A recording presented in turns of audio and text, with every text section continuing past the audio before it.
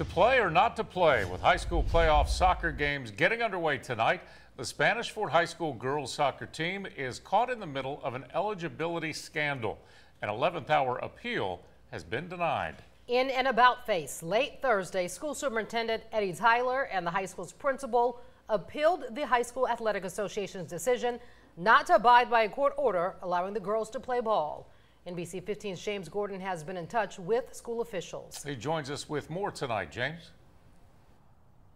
We know that appeal letter went out yesterday. The superintendent appears to have had a change of heart after earlier this week he sided with the association to disqualify both the girls and the boys soccer teams. The parents and the student athletes are not commenting publicly.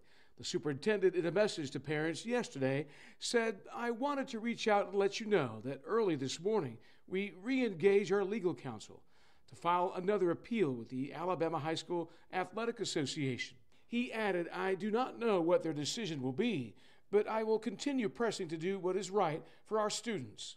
As a former coach and parent, I am heartbroken over the association's decision.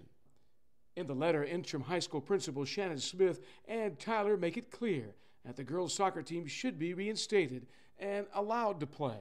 The entire Spanish Fort girls' soccer team, which earned the playoff spot, was sidelined because one of its athletes is a sibling to a team member deemed ineligible to play on the boys' soccer team. Both teams are now out of the playoffs, even though a judge ruled that they could play. So tonight, the waiting game, not the soccer game continues.